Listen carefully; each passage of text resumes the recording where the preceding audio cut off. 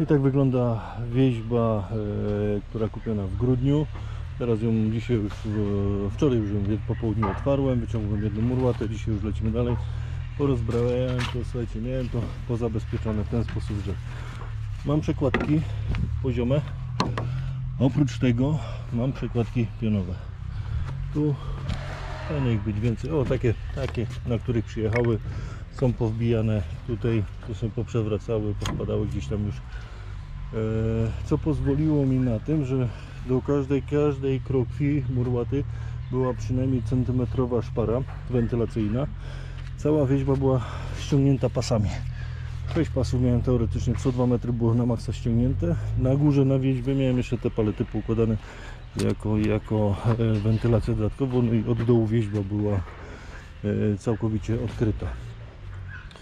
E, Jedno co mi powiedział Gostek, e, który przywiózł mi tą wieźbę, że wieźby nie suszy się e, w słońcu. Ona musi być przykryta, nie wolno jej suszyć na słońcu. Także ona była przez teoretycznie pół roku przykryta, opatulona. Raz czy dwa, dwa razy była odkrywana, gdzieś tam przewietrzone. Jak tutaj byłem i zobaczcie, mam tylko takie na tych dużych murłatach płatwie, bo to są akurat płatwie.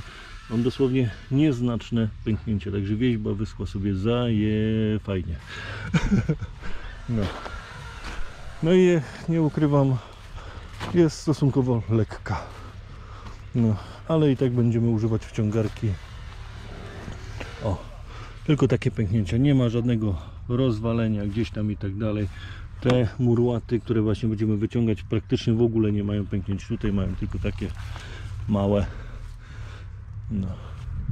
Także samo suszenie wie- wieźby udało się perfekcyjnie. No, a kupiono w grudniu, teoretycznie jeszcze w niższej cenie niż jest obecnie.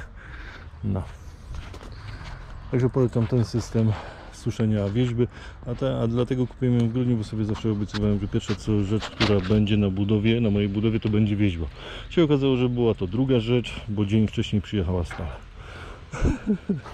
No. Także marzenia się spełniają.